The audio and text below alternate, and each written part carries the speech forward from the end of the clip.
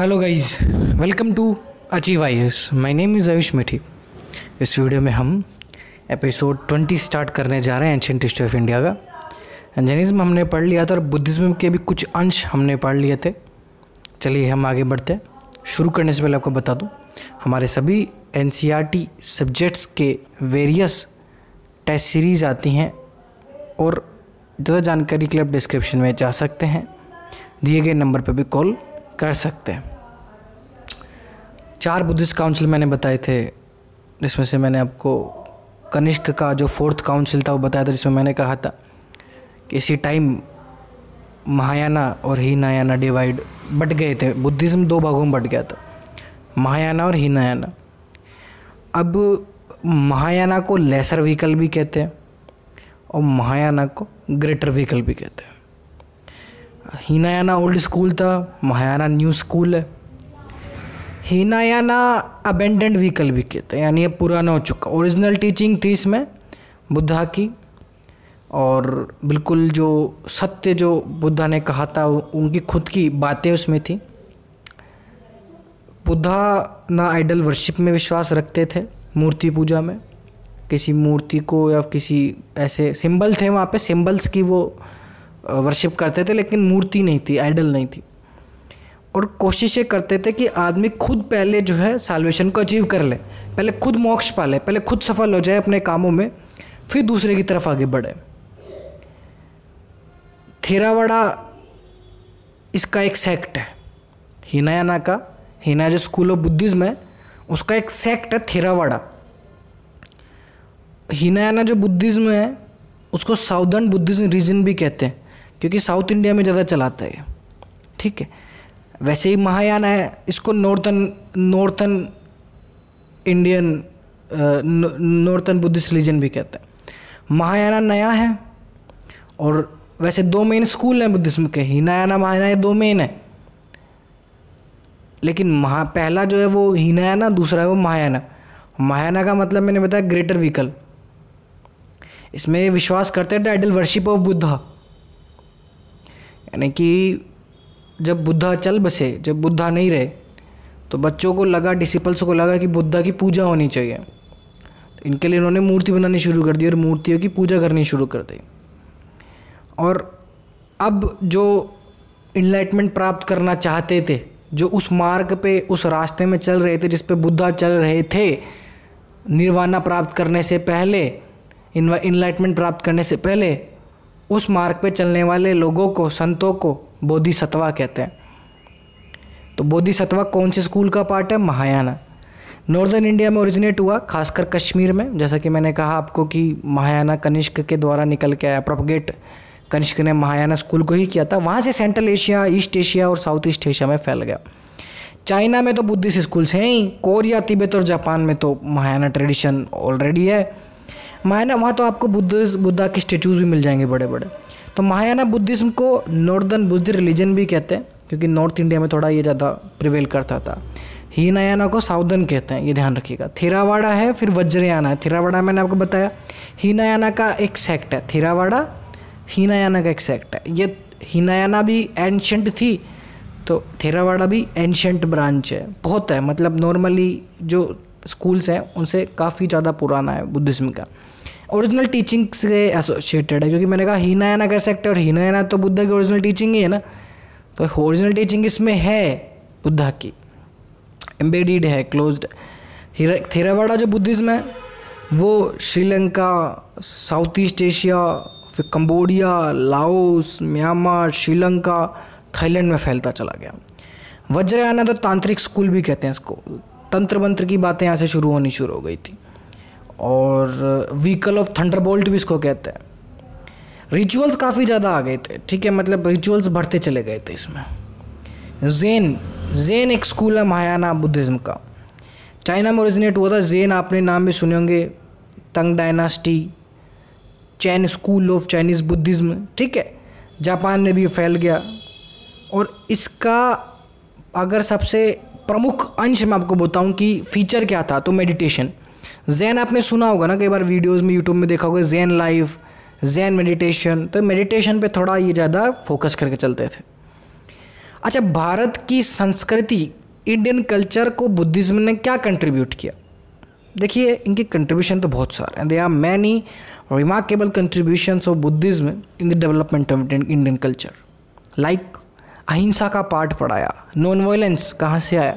सबसे पहले बुद्धा ने ही तो बताया था।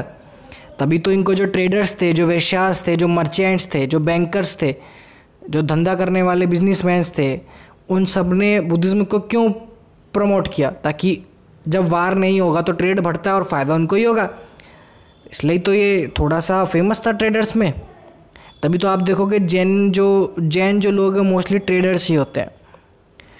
तो खैर, अभी तो हम बुद्धिज्म पढ़ रहे हैं। गार्डन आर्किटेक्चर तो काफ़ी अच्छा किया। जैसे सांची स्तूपा है, भरत स्तूपा है, गया स्तूपाज हैं। यूनिवर्सिटीज़ भी थी कि तकसीला नालंदा, विक्रमशिला। नालंदा यूनिवर्सिटी की तो बात ही अलग है। नालंदा में तो एंट्रेंस एग्ज़ाम होता था और इतना डिफ़िकल्ट होता था कि तीस परसेंट बच्चे ही पास कर पाते थे। और रोट लर्निंग के बजाय डिस्कशन में ज़्यादा फोकस किया जाता था। जाने कहाँ कहाँ से चाइना से दुनिया भर से लोग आते थे पढ़ना और डिस्कशन करते थे। और ऐसा नहीं है कि इसमें जो है नॉर्मल लिटरेचर पढ़ाती थे।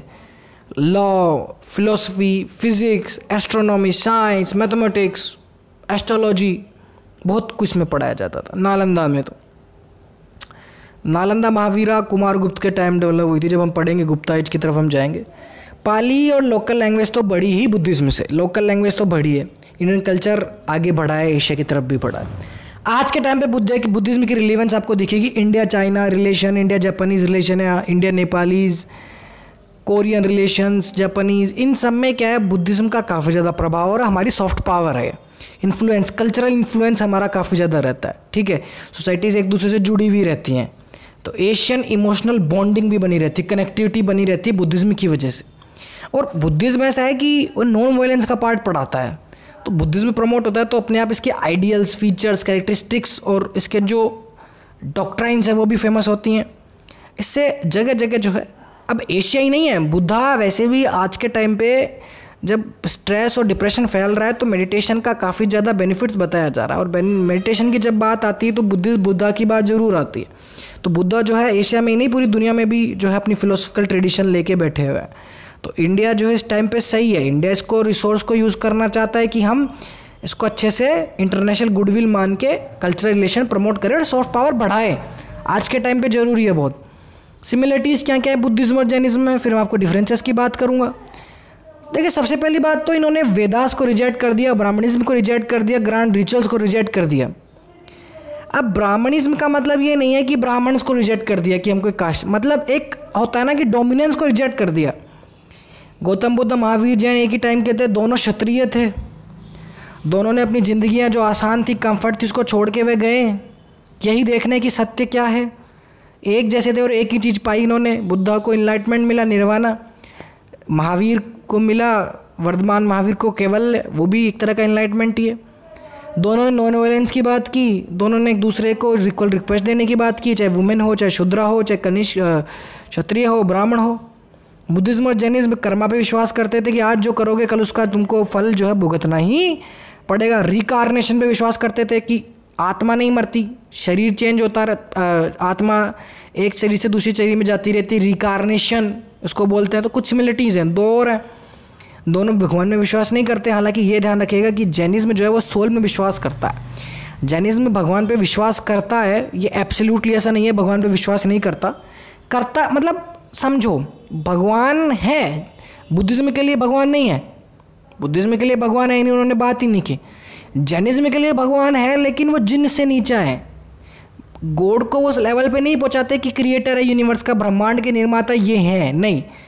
जैनिज्म के लिए गॉड है, लेकिन वो जिन से नीचे हैं। बुद्धा तो गॉड पे बात ही नहीं करते थे। बुद्धा ये कहते थे, मैं रियल प्रॉब्लम से बात करूँगा। तो। गॉड पे तो बात, अब बात बची सोल की तो बुद्धा तो सोल पे विश्वास नहीं करते थे, लेकिन जैनिज्म में सोल पे विश्वास करते थे, और ये कहते थे, हर इंसान में सोल है। ठीक है, मैं फिर से बता देता हूँ रिवर्स करवा देता हूँ एक बार। बुद्धा ना गॉड को मानते थे, ना सोल को मानते थे। गॉड पे तो डिस्कशन ही नहीं होता था रियल प्रॉब्लम्स पे फोकस करते थे, तभी तो बुद्धा ने कास्ट को का लेकर काफ़ी ज़्यादा जो है अगेंस्ट में थे। इतने जैनिज्म में नहीं था, इतना जैन में नहीं था। जैनिज्म जो है वो गॉड को नहीं मानते हैं, लेकिन वो इतनी इंपॉर्टेंस नहीं देते और सोल को बहुत इंपॉर्टेंस देते हैं वो। ठीक है? सोल को इंपॉर्टेंस देते हैं वो और सोल हर इंसान में, हर जो ऑब्जेक्ट में होती है, ऐसा मानते हैं। तो क्वेश्चन अगर आ जाएगी गॉड में बिलीव करते थे तो दोनों में से कोई भी गॉड को as a creator of the universe believe नहीं करता था।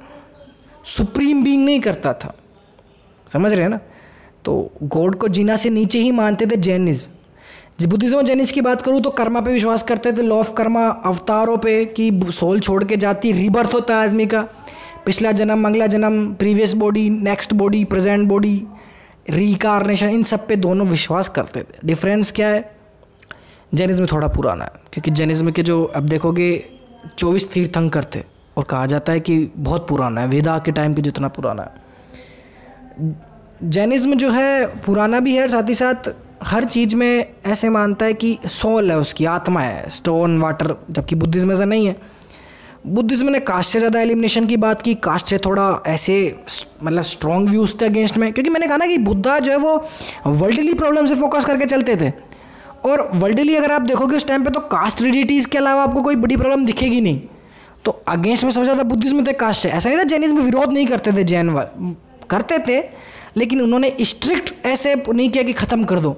जैनिज्म ने कहा कि हाँ जैनिज्म जो थे वो स्ट्रिक्ट डिसिप्लिन ज़रूर अपनाते थे, एस्टेसिज्म, सन्यासी जीवन पूर्ण तरीके से। सब कुछ छोड़ना पड़ेगा, आपको कपड़े भी याद छोड़ने पड़ेंगे, लेकिन बुद्धिज्म ऐसा नहीं था।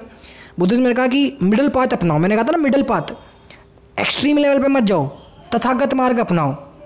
अपने ये जो डिसिपल्स तुमको कहते थे तो मिडिल पास मतलब कपड़े पहनो, लेकिन आराम से हर चीज़ में एक्सट्रीमिज्म की तरफ़ मत जाओ। जेनिज्म में तो बिल्कुल कहता था नहीं एक्सट्रीमिस्ट की तरफ़ जाना पड़ेगा। पूरा काया पलट आपको करना पड़ेगा, तब जाके आपकी ज़िंदगी में बदलाव आ सकता है। बुद्धिज्म जो है, वो संघ पे विश्वास करते थे, ज़्यादा।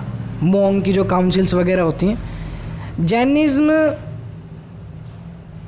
साल्वेशन में विश्वास करते थे डेथ के बाद ही। और बुद्धिज्म के अकॉर्डिंग साल्वेशन आपको पहले ही मिल जाएगी। यानी साल्वेशन मतलब मोक्ष इनलाइटमेंट निर्वाणा कैवल्य। और कोई भी नाम अगर आपको होते होंगे तो आप समझ सकते हो मैं क्या कह रहा हूँ, ठीक है? तो जो मोक्ष की मैं बात कर रहा हूँ, जैनिज्म के अकॉर्डिंग आपको मृत्यु के बाद डेथ के बाद ही वे प्राप्त हो सकती है। You will get it after the death but according to Buddhism it is possible during one's on life Jainism India से बाहर फैला नहीं है। कभी देखा कि जैनिज्म को हमने किसी और कंट्री में कुछ जो है इन्फ्लुएंस है नहीं। बुद्धिज़्म फैला और बुद्धिज़्म की वजह भी थी। बुद्धिज़्म को अशोका अपने जो थे, वो श्रीलंका की तरफ़ उन्होंने अपने बच्चों को भेज दिया बेटा बेटी को। नाम याद नहीं आ रहा मुझे उसका। क्या नाम था? मुझे नाम याद नहीं आ रहा अशोका की, जो बेटा बेटी को भेजा अच्छा बुद्धिज़्म की जैसे जैना जो है, वो इमेज वर्शिपर्स नहीं थे शुरू में। शुरू में सिमिलरिटी थी। बाद में डिफरेंस आ गए जब जैनिज्म जो है महावीरा और उनके जो तीर्थंकर करते उनको मूर्ति में पूजा करने लगे। आइडल वर्शिप वैसे तो बुद्धिज्म में भी आ गई थी बाद में, लेकिन ये ध्यान रखिएगा कि जैनिज्म में बहुत पहले आ गई थी इमेज वर्शिप बुद्धिज्म के साथ जब वो थे ओरिजिनेट हुए थे, तब नहीं थी। लेकिन इमेज वर्शिप आ गई जैनिज्म में और बुद्धिज्म में भी बाद में आई, लेकिन जैनिज्म में पहले आ गई थी, ठीक है? उठे वो एक प्रिंसिपल पे थे, लेकिन चेंजेस दोनों में आया।